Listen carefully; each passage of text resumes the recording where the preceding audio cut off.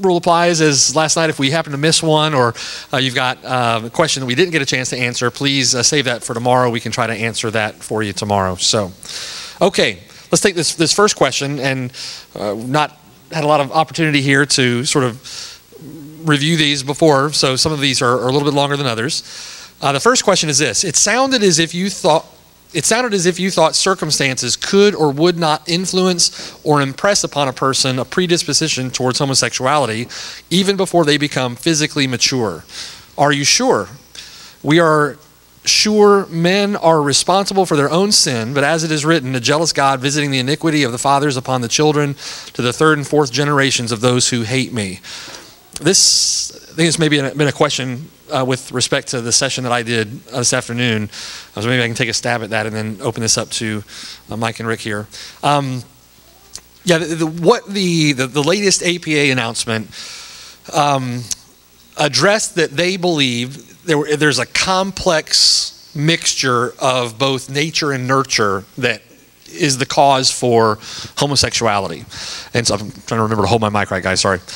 Um, so a combination of nature and nurture. Basically, that means environment and upbringing, and that it is a, a combination of both environment and upbringing that cause homosexual behaviors or lend themselves to that. And we wouldn't disagree with that. Uh, ultimately, the cause for homosexualities or depraved nature is sin. Um, but giving outlet to sin or taking advantage of our sinful natures would be of a horrible, sinful upbringing. If you've got, a, I know, looking at the statistics, uh, those children that were children of homosexual couples were, I want to say, seven times more likely to be, 70% more likely to be homosexual themselves. So we know that environment, we know that upbringing, nature and nurture both contribute to the, the lifestyle, the behavior. Um, but ultimately, that responsibility falls on our sinful nature, our depraved nature.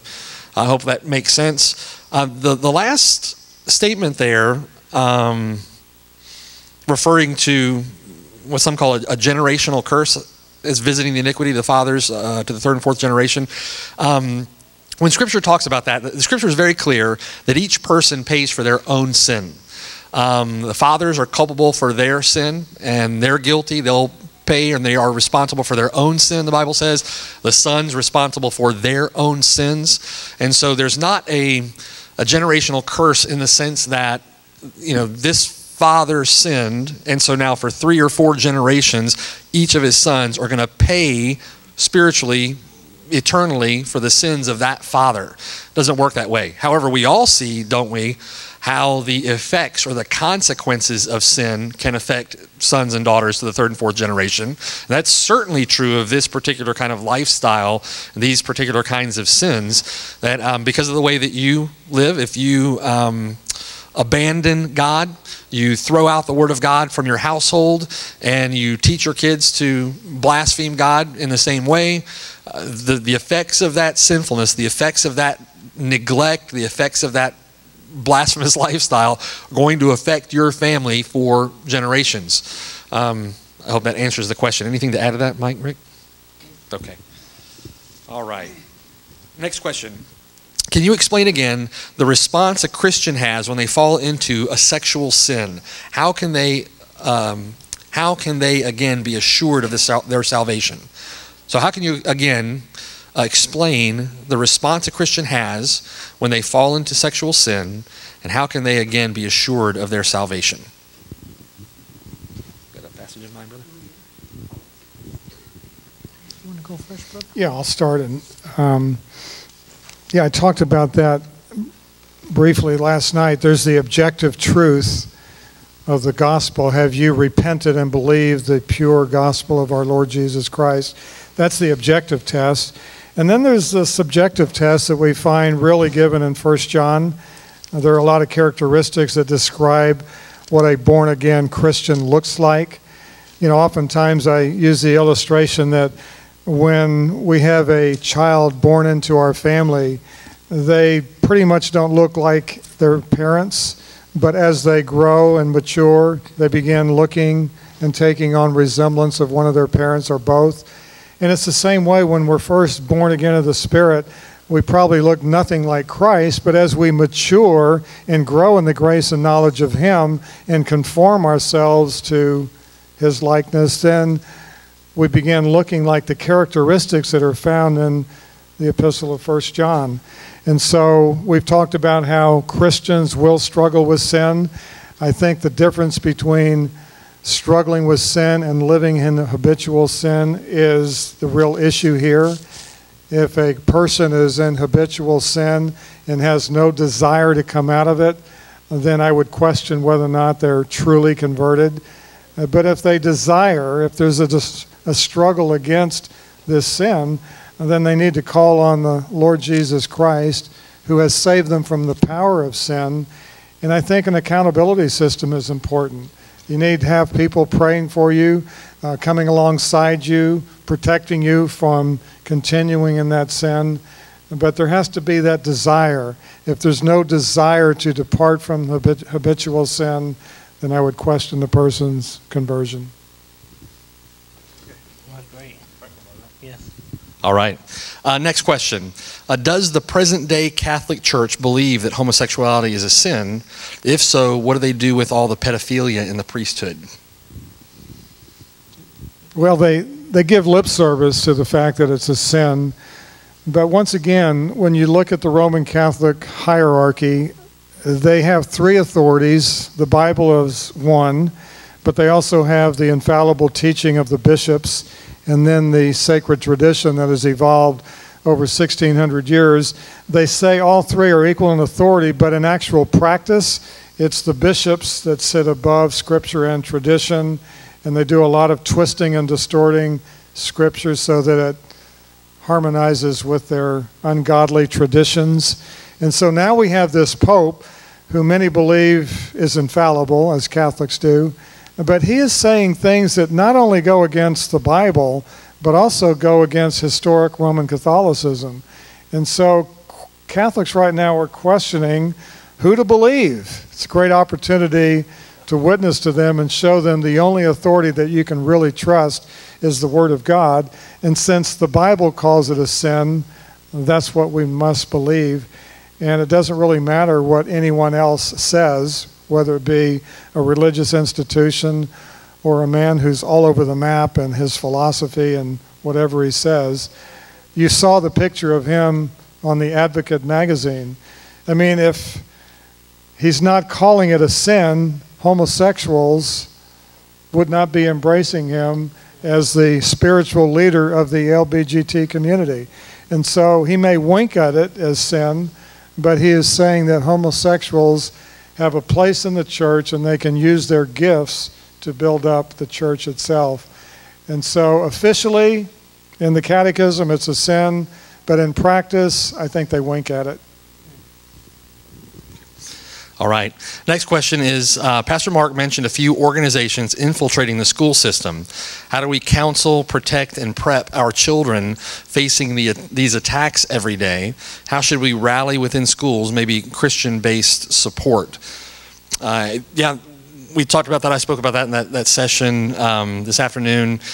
Uh, I would say that understanding that you don't want to abandon the education of your children to the school system. Uh, if you send them to public school, you homeschool them. If you have a homeschool umbrella, you send them to a private school, religious school, any number of schools. Uh, you don't want to abandon the education of your children to that school. You, as the parent, are responsible for their education.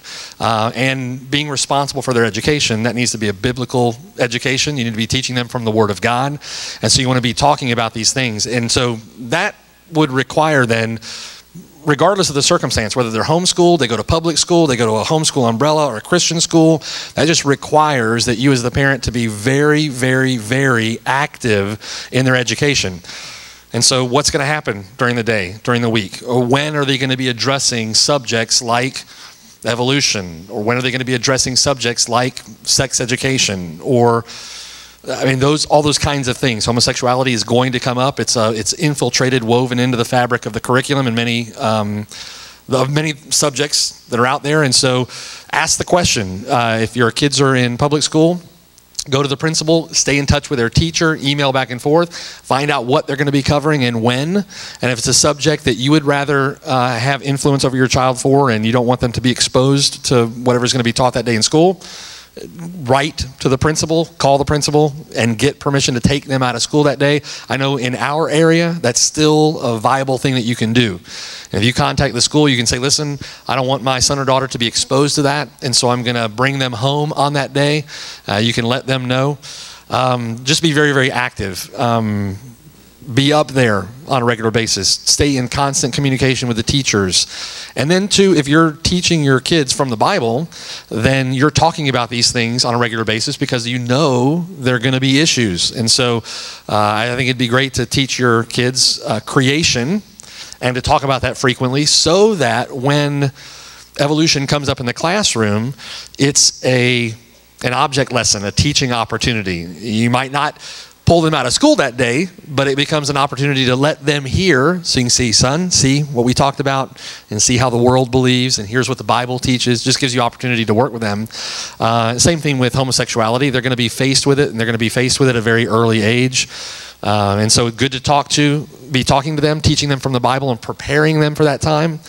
But I just think we have to be, in order to rally support, in order to protect our children, we have to be the ones teaching them, and we have to teach them from the Bible. Um, and to teach them to stand. I love the the slide I love that um, Mike had put up earlier that we've got to be able to stand alone. Your kids need to learn to stand alone. Uh, they need to be able to be independent enough to be in the school and alone in their beliefs to say, you know, to take a stand for what the Bible teaches against what everybody else says or thinks or does. They've got to learn to be able to do those things. The only way they're going to learn that is from their parents, being taught from the Word of God. Anything further with that? Um, as far as rallying support, um, I, you know, there's not a lot of room for Christian based organizations in the school system. I think that the best way that you can rally support is to get to know the teachers, get to know the administrators, and um, find those that empathize with your point of view and communicate with them and stay in touch with them. Um, the other alternative is to bring them home. Or I know there are several uh, homeschool umbrellas. You can now get a public, as far as I'm aware, the, the moms I'm sure in the room would know far better than I would, a public education through Florida Virtual School at home but you're taking the, the public school courses uh, online at home through Florida Virtual School, that's an, an option to you as well. Many, many options. I think I would highly recommend just talk, talking to a bunch of the um, moms and dads in our church that are doing various things. We've got uh, moms and dads that have kids in public school kids in homeschool, kids in Christian schools, kids doing it online through Florida Virtual School. I mean, I think pretty much our church is full of folks utilizing various options and just talk and find out what's going to be best for you and your family. All right, let's take the next one here.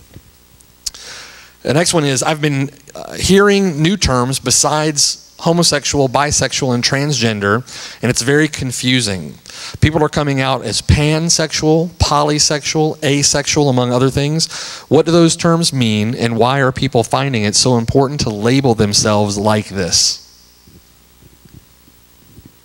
Um, um, sinful men will continue to invent evil things. They'll try to distort the uh, gender that God has ascribed to them by birth. So don't um, don't let that confuse you. Don't let that discourage you. Uh, just understand as as as as best as you can what the Bible says. And if you know what the Bible says, you can address that error. You can inform your family and those you love. And if you're in a situation where you are able to preach the gospel to these uh, to these people, you'll know where to go and what to say.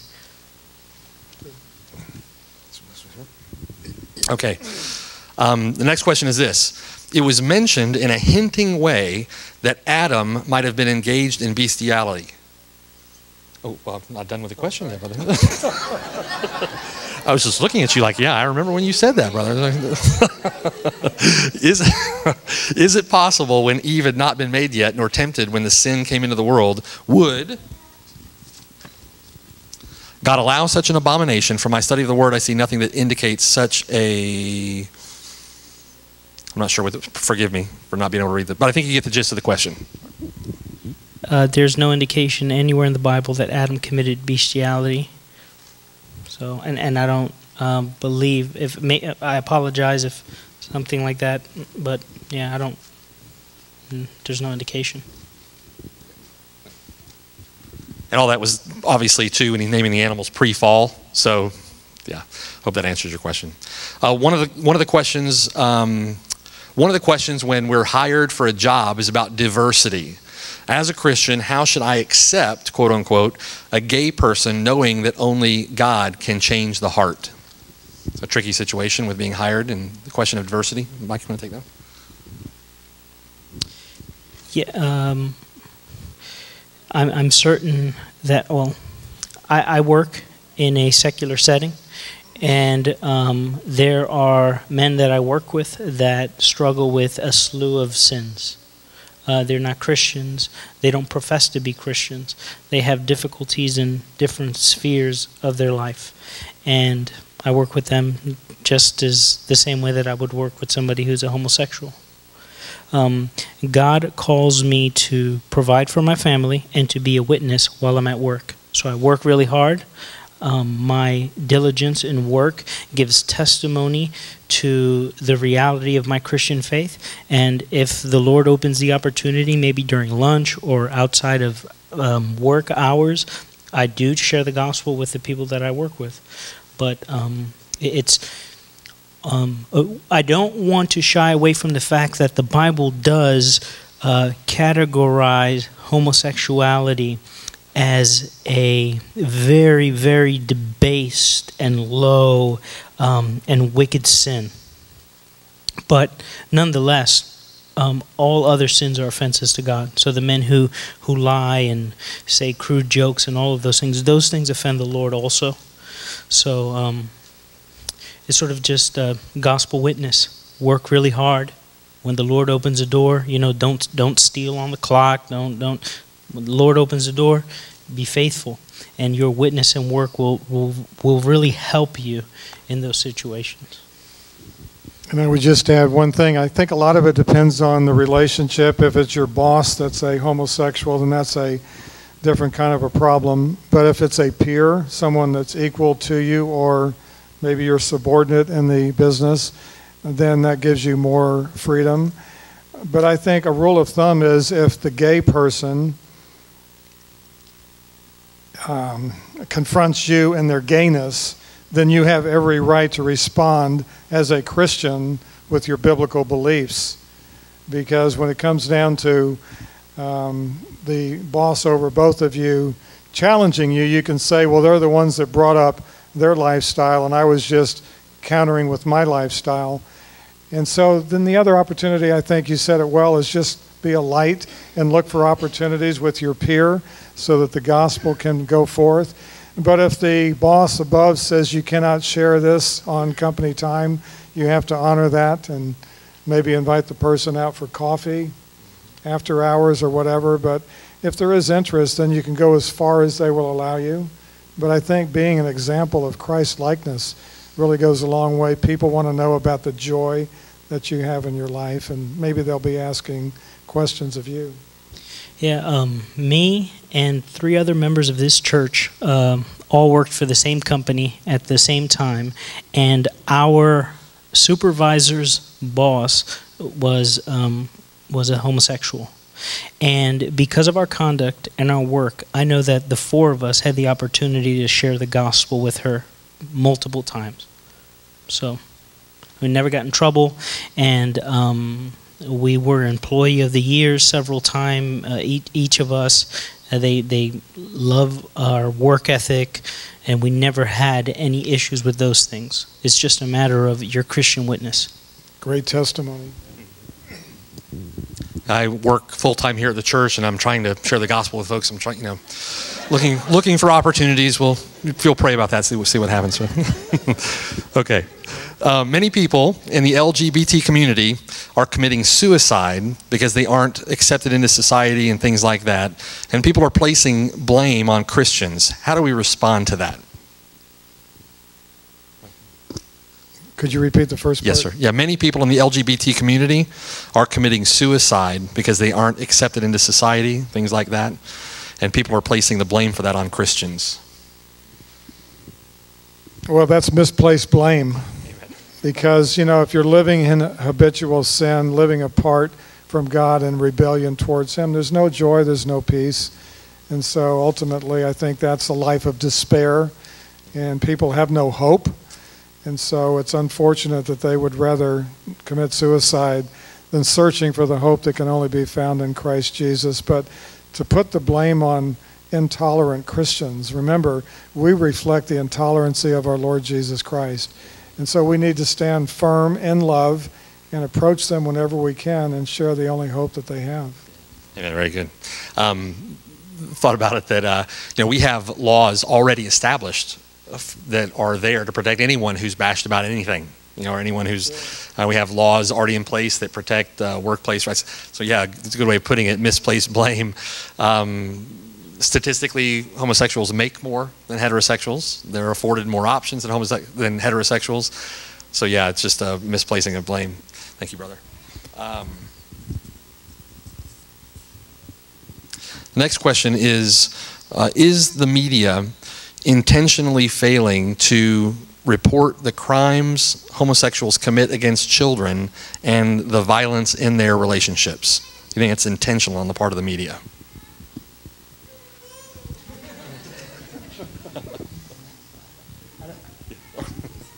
I don't have an answer for that question. I don't work with the media, so I wouldn't, I, I don't know how to answer that. I, I don't have the data. There is a lot of unexplained things going on in the world today and the only thing I can think of is demonic delusion. Yeah. Yeah. I mean, when you think that we now have a Muslim in the White House, a Muslim who hates Christians and hates Jews, and yet we reelected him. Why? I mean, we know of highly intellectual people that have good jobs that voted for this man a second term. And so I, I just got to believe it's demonic delusion, just as the prince of this world has blinded the minds of unbelievers so they cannot see the light of the gospel, the glory of Christ. I think he's blinding people from the truth of reality as well. I mean, there's no other explanation, and so I just throw up my hands and say, it must be demonic. Yeah, miraculous blindness. Um, there's certainly a bias we see. We can, we can visibly see the bias, and um, so much uh, in the liberal media, the liberal political party, those kinds of things. Um, yeah, miraculous blindness. Um, the next question I recognize that we are all born with a sin nature and have fallen short of the glory of God. I have a family member I've attempted witnessing to, and he and his friend tell me they were born this way. My question for you is Do you believe in generational curses? And if so, do you believe they can be broken? We've pretty much addressed that. Um, yeah, not in any as far as the generational curse, but I think we explain how sin, uh, the consequences of sin, uh, continue. And so hopefully that question is already answered for you.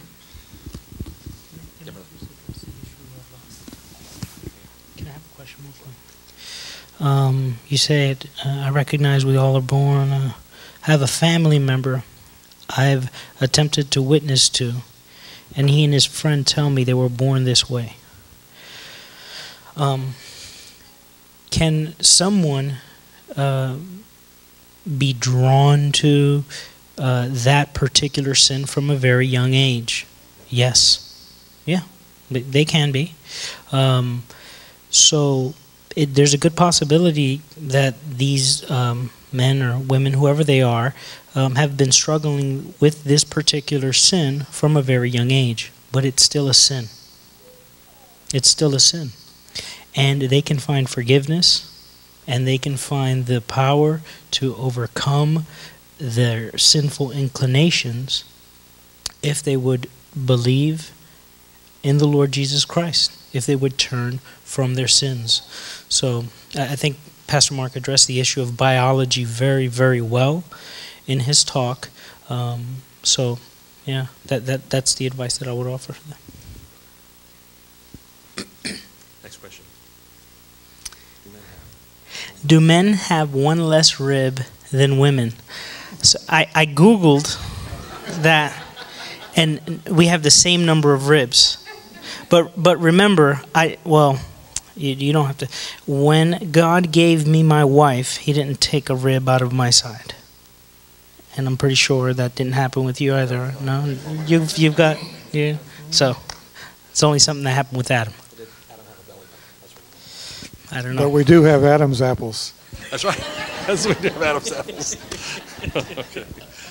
All right. Um, how can you quickly but effectively discuss someone's homosexual lifestyle uh, from the word in a work or school place, like during lunch break, et cetera, when time is short? I think you just mentioned that. Anything further we want to add to that? Okay. Next question.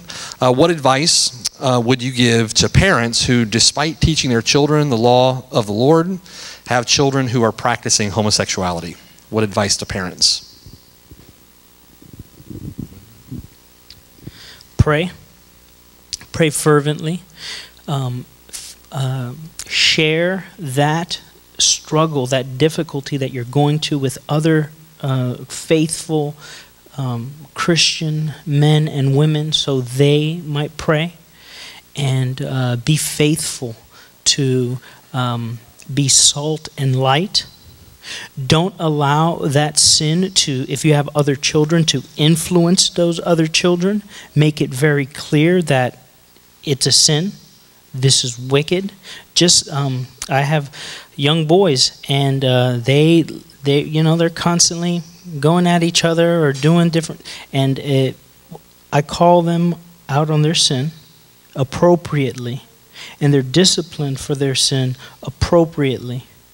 So, as a parent, if you're still the legal guardian, and, and it's you know not a 25 year old woman or a man, um, uh, apply the right amount of biblical, godly, good discipline to the child pray, share the word of God with them, have others pray for them, and um, uh, protect the other children in the home if there are any. And Mark, I think it goes back to what you shared earlier. If parents really love their children, they will not affirm their homosexuality. To affirm their homosexuality is not to love them. And so I think um, sharing what you just shared is so important. And we also realize how easily influenced children are by the culture. And so, as a parent, are you watching what they watch on TV? Are you guarding them against the culture, the Hollywood pervasiveness of this sinful lifestyle? And if they are open to all of these things coming into their home, maybe it's a good time to cut that off and to watch more closely what's influencing them? Yeah, come back soon. We're going to have a conference in May on that very issue children and technology and just the, the media influence on our kids. Uh, that is going to be a very important uh, time. So, uh, last question. We've got to get you home, let you guys get some rest. Uh, to Mike specifically, uh, when preaching the gospel to a sodomite, can we preach the cross and the resurrection without preaching repentance and faith? And so, repentance I guess, is repentance only a response or also a command by God for men everywhere to repent? Is the nature of preaching the gospel and repentance. Yeah, when we preach the gospel, it must include repentance and faith as the only saving response for salvation. You cannot leave that out, otherwise, you've given an incomplete gospel. Remember, there are so many people who have head knowledge about Jesus being a historical figure that lived and died on a cross 2,000 years ago, but that head knowledge doesn't save them. Faith in Christ, as he is revealed in the Bible, must be coupled with repentance, a turning away from sin, a change of mind about the way you once lived and believed you could be saved, to trusting Christ alone and nothing else for your salvation.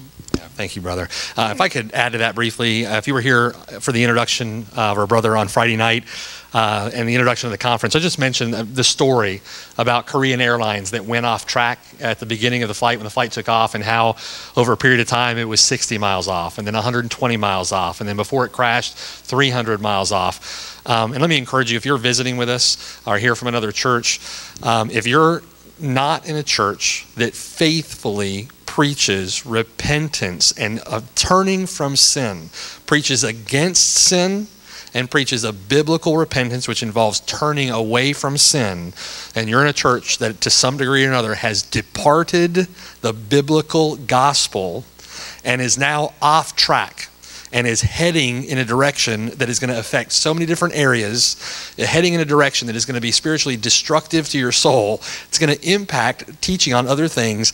Get out of that church. You cannot toy, you cannot mess with, you cannot alter even one mite the gospel of the Lord Jesus Christ and think that it's not going to have influence in people's spiritual lives, it's not going to have influence in the church. Uh, in fact, if you're going to betray the gospel of our Lord that way, you forfeit the right to call yourself a church. And so, for the churches that preach an ask Jesus into your heart gospel, right? Admit, believe, and confess, and there's no repentance get out of those churches for the for your own spiritual health and vitality for your own good and get to a church that accurately and faithfully preaches the gospel. It is the most important thing. So you've got to be faithful to those things. But thank you brother for preaching that. All right. Well let's um, pray and get you guys home. We'll pray and then i've got just a couple of requests of you and then we'll depart for the day. So brother would you mind closing us in prayer?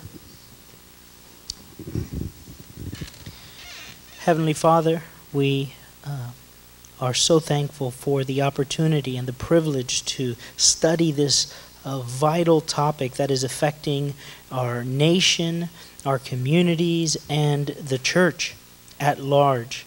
And we pray that uh, the truth that you have graciously been revealing to us um, uh, throughout our time together that, that we would apply it, Lord, that we would believe it, and that we would share it with others as you give us opportunity. Lord, I pray that you would bring us back here tomorrow. Thank you for my brothers and for all of their labor. In Christ's name I pray. Amen. Amen. Amen.